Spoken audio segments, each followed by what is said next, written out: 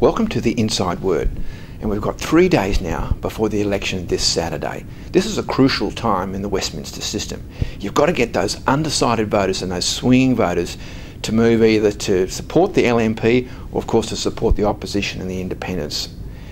The strategy that the government's been using so far is putting through a strong plan for a strong economy, putting through vision statements, and the privatisation element, which is selling a lot of the electricity assets and ports to pay down debt and to use a proportion of that to recycle back into infrastructure, into key seats, seems to be having some resonance.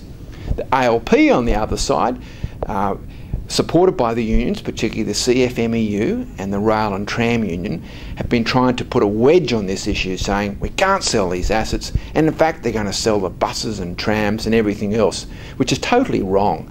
Theirs is based on fear and scare. And of course, if you've got no policies, that's probably the best way to go. Whereas the government is still trying to stick to its prudent fiscal record and trying to demonstrate that they've got a plan for the future.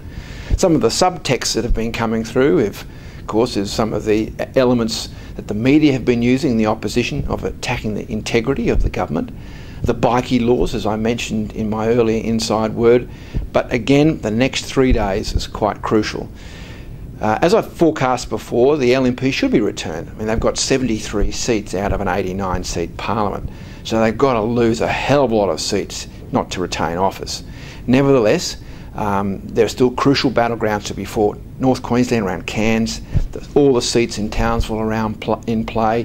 You've got suburbs in the northern part of Brisbane, some parts of southern Brisbane, of course, Ipswich, were in, which are in play right now.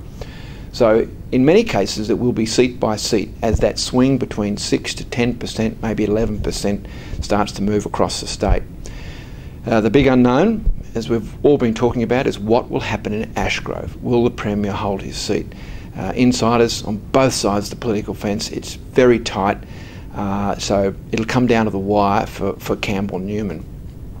On the federal level, um, the tactics, of course, of going early, trying to keep Canberra and the federal guys out of the election, worked well until Australia Day. And the Prime Minister's decision to give a knighthood to Prince Philip um, has really gone down as a lead balloon.